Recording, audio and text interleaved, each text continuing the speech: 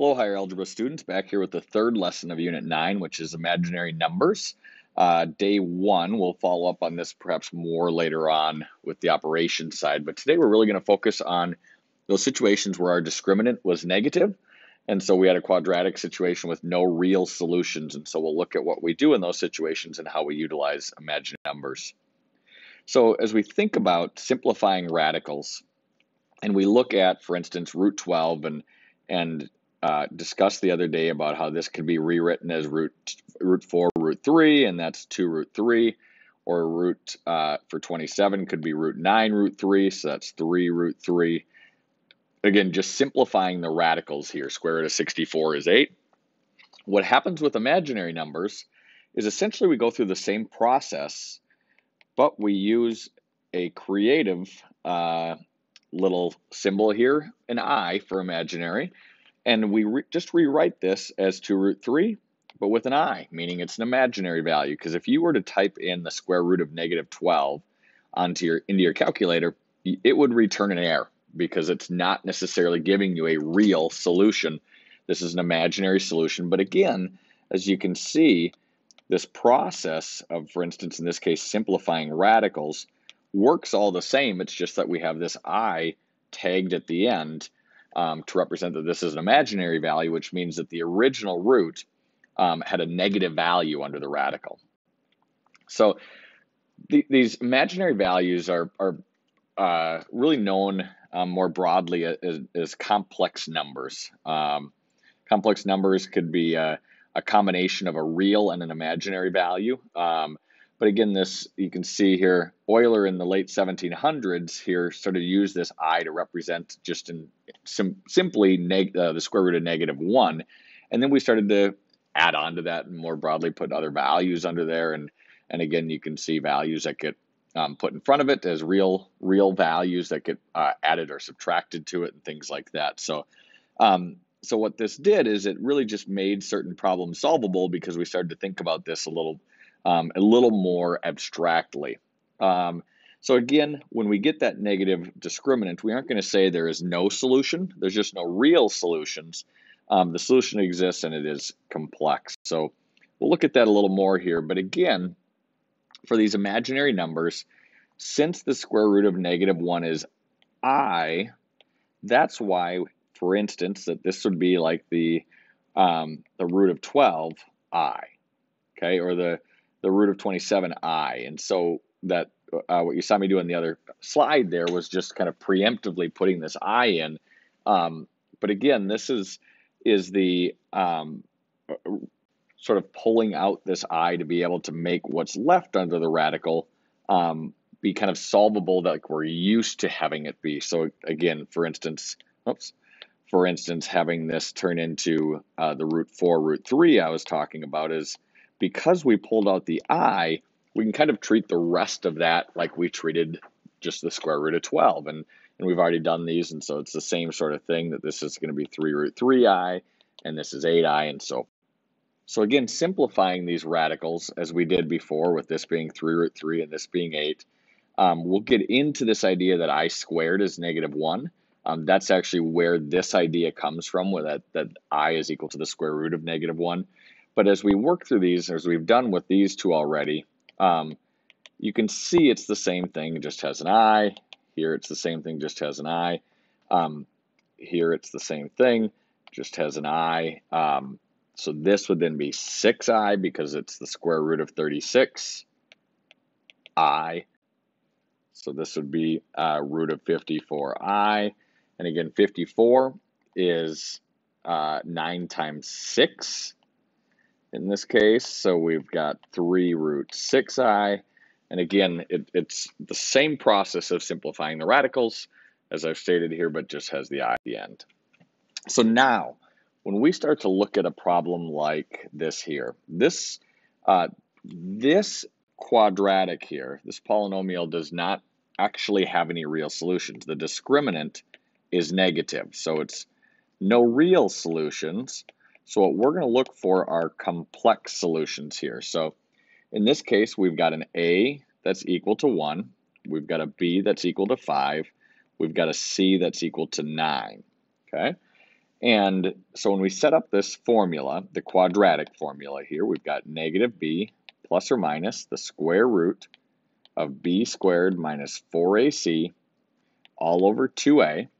So as we put values into this now, negative b would be a negative 5 plus or minus the square root of 5 squared minus 4 times 1 times 9 all over 2 times 1. So for that, all I was doing was putting the values of a, b, and c into this equation so that I could start to solve this quadratic.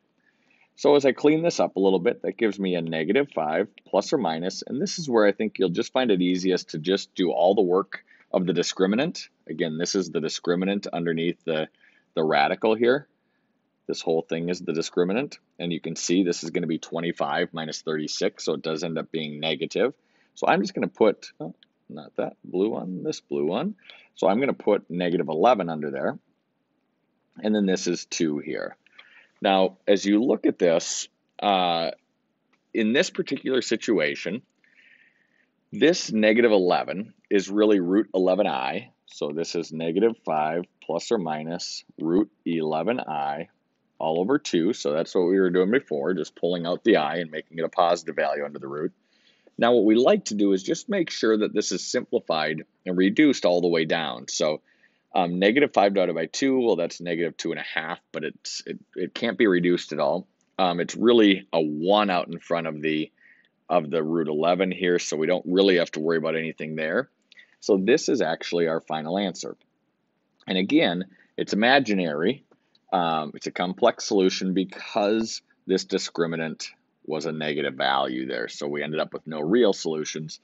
And again, this is actually two answers here, negative 5 minus root 11i over 2 and negative 5 plus root 11i over 2. And so that would be our, our solutions, our imaginary answers to this, uh, this quadratic. And again, the imaginary value is really just this portion here.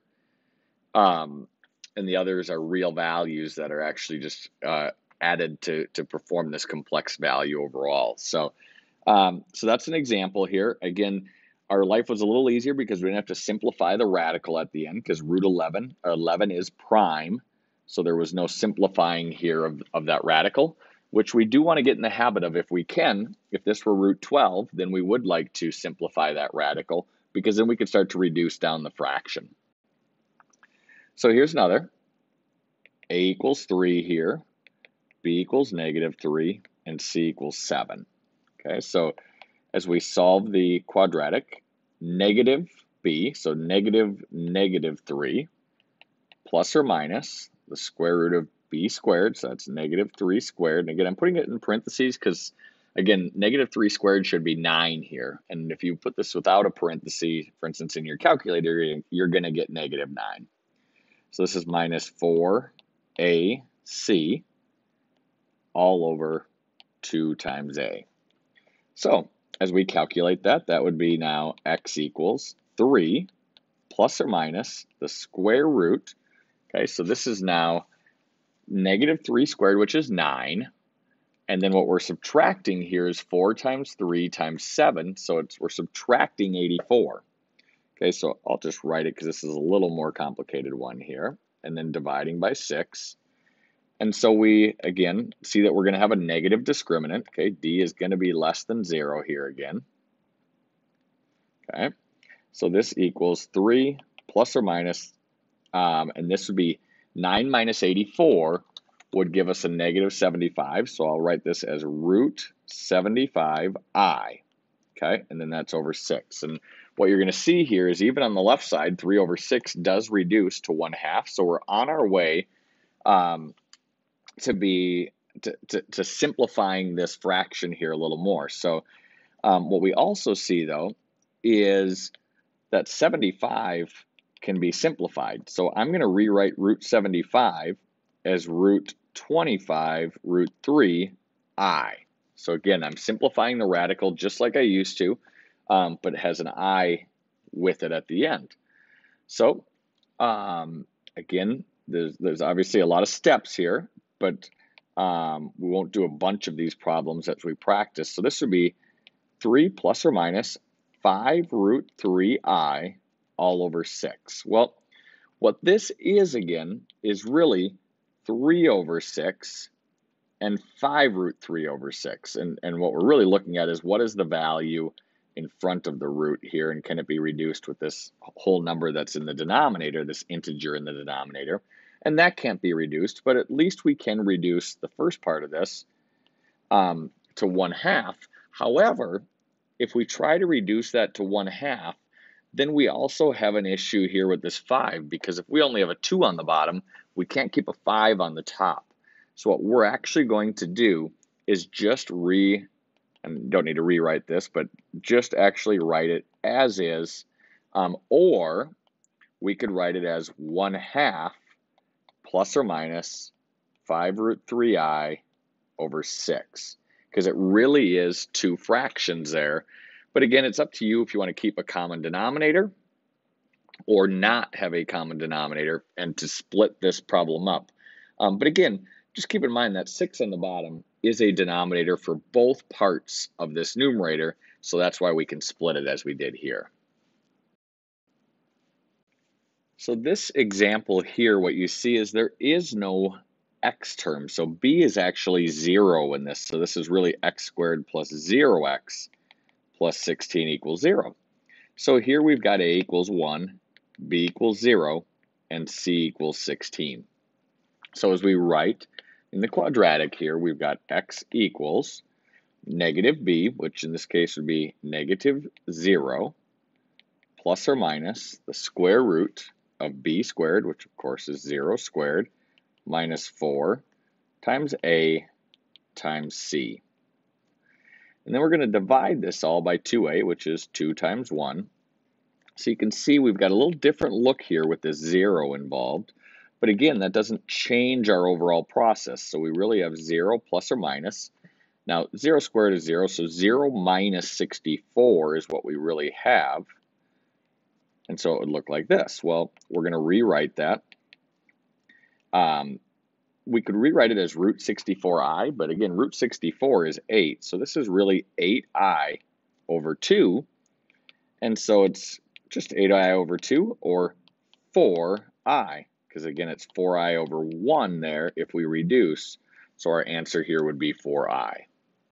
One other item to note here is how to simplify when you get some of these responses. And, and uh, this I actually should be on the outside, so I'm going to move it on the outside there. But um, when you look at a response like this, and an answer like this, first of all, keep in mind that the 3 root 7, oh, not 3 root 3, 3 root 7 probably started out going backward here now as root 9 root 7 and root 63. So we actually simplified a radical to get to a 3 root 7 here. So keep that in mind first, okay? So in terms of the evolution of this answer, this would have started out looking like this over 3.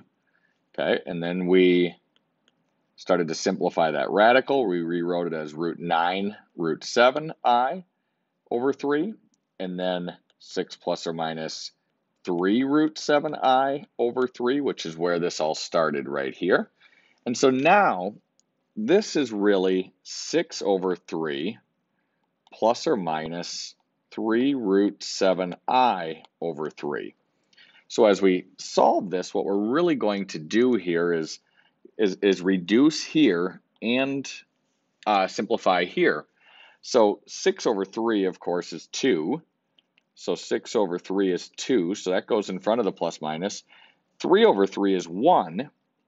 So instead of writing this as 1 over 1, we'll just write this as root 7i. So again, it would have been 2 over 1 plus or minus uh, root 7i over 1. And since they're both over 1, it's 2 plus root 7i over 1. So I probably could have done that a different color. And then we just don't, don't write that as a, as a fraction anymore. So our answers now are, in the end, 2 minus root 7i, and then 2 plus root 7i. And this again is just the process of simplifying a response which again probably started as a root 63 here, most likely. Um, and so we simplified the radical in these steps, and then we started to simplify the fraction as we went down here to finally get to our final answer. Uh, that's all for now. Thank you very much for listening. And if you have questions, as always, please ask.